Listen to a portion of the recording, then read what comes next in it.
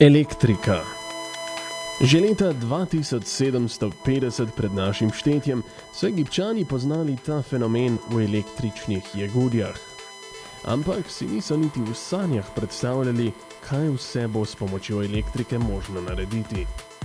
Danes pa si elektrika počasi utira pot tudi k avtomobilom.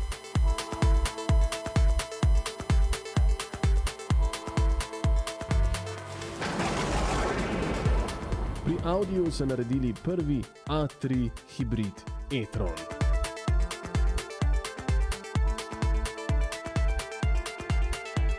Na prvi pogled tale e-tron ne izda, kaj se skriva pod pokrovom. Je pač A3, majhen, a lep, z dolgimi, ravnimi linijami in veliko masko spredaj. Let luči spredaj in zadaj, edino kar izdaja ta novi model, je pomankanje vidnih izpušnih cevi in pa seveda sam napis e-tron.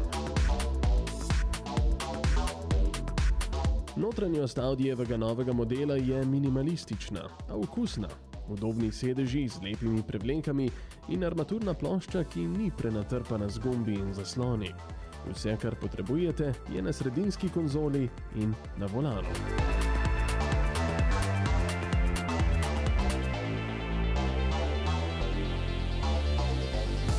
Na testu smo imeli tri različne barve e-trona. Rdečo, ki je kar zagorela na soncu, ta model je imel mimo grede tudi pomično panoramsko streho, modro in pa črno. Sicer je to stvar okusa, ampak se je A3 podal dobro v vseh treh preoblekah.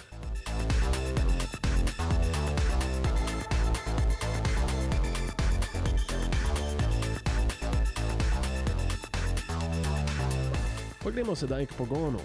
Kot smo že rekli, je tale e-tron hibrid. Pod pokrov so, po domače povedano, zbasali benzinski in električni motor. Tesni primerki so imeli 1,4 litrski turbopolnjen benzinski motor, ki zelo rad zapoje s 110 kW. A kar nas še bolj zanima, je električni motor, ki ima 75 kW in lepih 330 Nm navora. S polnilcem lahko baterije, ki zadoščajo za 50 km električne vožnje, napolnimo v približno 4 urah, če ga priklopimo na enofazno napajanje. Pospeški? Ja, električni motor ima poln navor že takoj na začetku. Pri polnem plinu pa mu pomaga tudi benzinski motor. To pa pomeni, da avto pospeši od nič do 100 v 7,6 sekundah ni slabo za tale A3, ki ima 1615 kg, kar je kar precej težje od navadnega nehibridnega modela.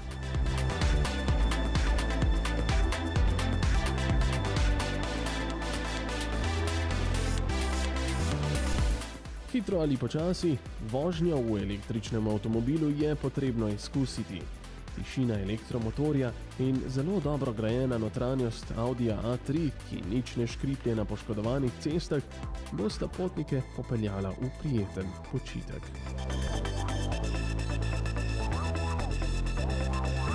Seveda, dokler ne pritisnete na plin in predramite benzinski motor. Cene se gibljajo od 41.600 evrov pa tudi preko 50.000 evrov, odvisno od dodatne opreme.